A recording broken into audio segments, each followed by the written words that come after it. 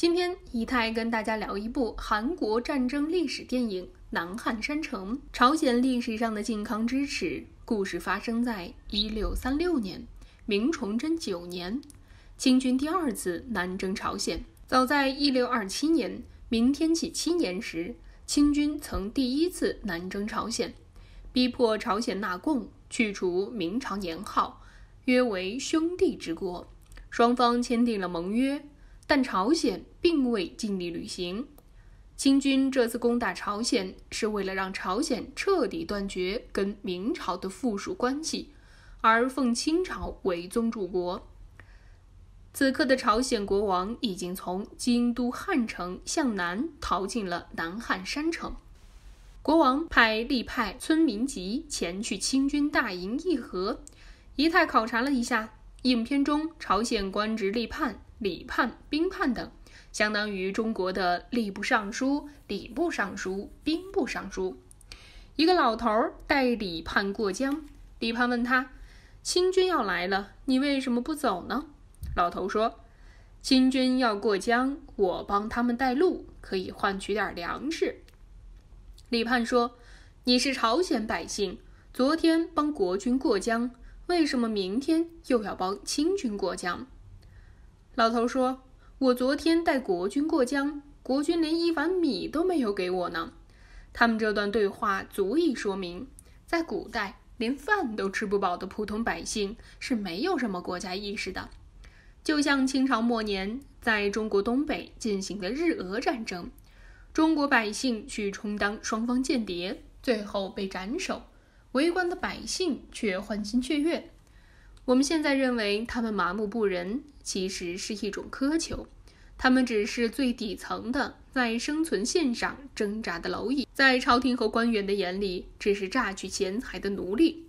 最后，李盼杀死了这个朝鲜子民，残兵败将都逃进了南汉山城。城里的居民并不欢迎国王的到来，因为国王会把战火引到这里。还会抓他们去作战。果然，清军追到了城下，开始围城。此时，立判谈判回来，带回来了谈判条件。清军要求朝鲜国王派世子到沈阳做人质，并断绝和明朝的宗藩关系，改为侍奉清朝。大臣们发生了第一轮争吵，国王果然征发城中的男丁守城作战。而这样，城中的兵力也不过一万三千多人。这些丁壮和士兵们在风雨之中昼夜守城，因为寒冷，开始有人冻伤。知道此事的李盼将此事汇报给了国王，建议收集城内草席子给士兵们御寒。兵判认为士兵们守城受冻属于正常，领相认为自己的士兵受冻的同时，敌人也在受冻，不用管此事儿。当然，这两个老官僚说的基本不是人话。有大臣建议收集官僚贵族的衣服给士兵们御寒，领相认为这样有损贵族威严。在吵闹中，最后国王同意收集草席子给士兵御寒。在他们的这场争论中，也可以看到，在古代朝鲜，士兵和平民在贵族眼里都是下等人。在电影中。从领相和投靠清军的朝鲜翻译对话中，也可以得知，在朝鲜，奴隶是不被称作人的。朝鲜国王派立判和清军又进行了一次谈判，依然没有结果。大臣要求处斩立判和清军决战。最后，国王决定和清军作战。在派兵出战的同时，也派出信使去都元帅府大营求救。毫无悬念。这次出兵大败而归，城内不仅缺粮，喂马的草料也不足了，战马开始饿死。大臣们经过一番争论，领相说：士兵可以靠意志御寒，马不能靠意志扛饿。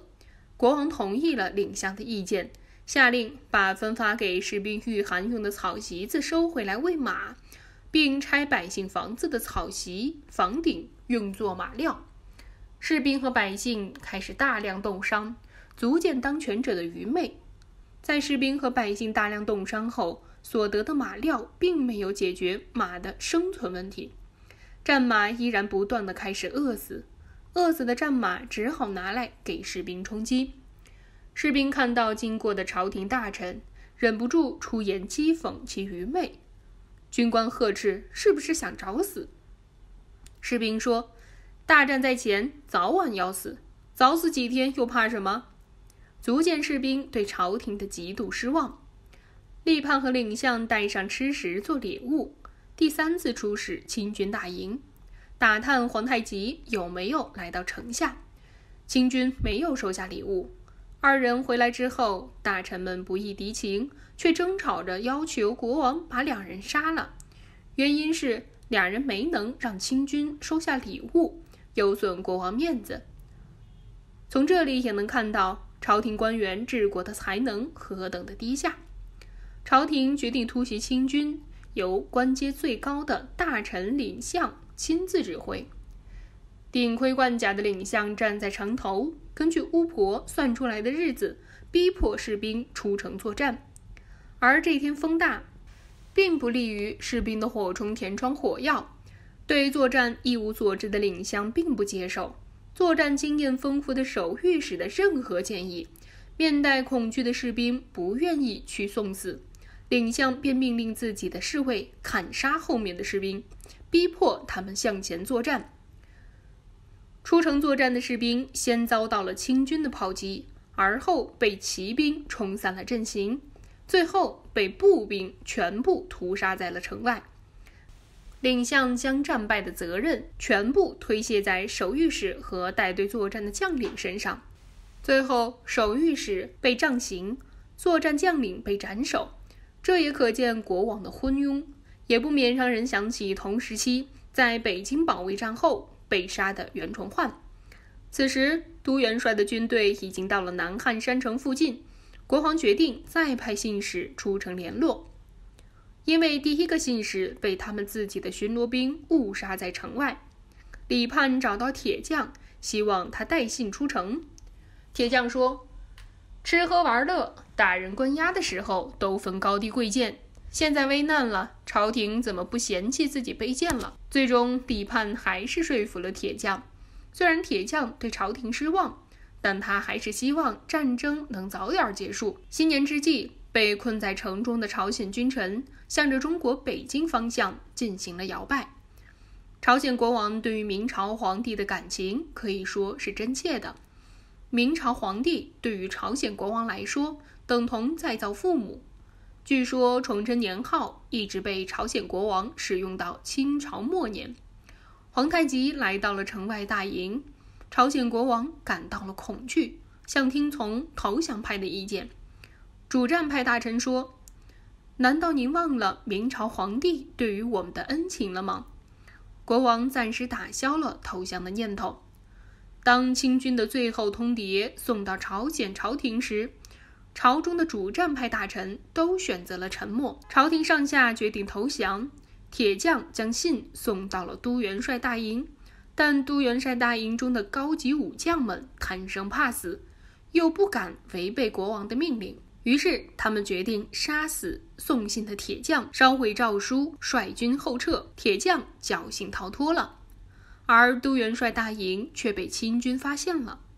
最后，几万朝鲜军队被清军屠戮。当朝鲜的投降书还在路上时，清军对南汉山城发动了进攻，城内死伤惨重。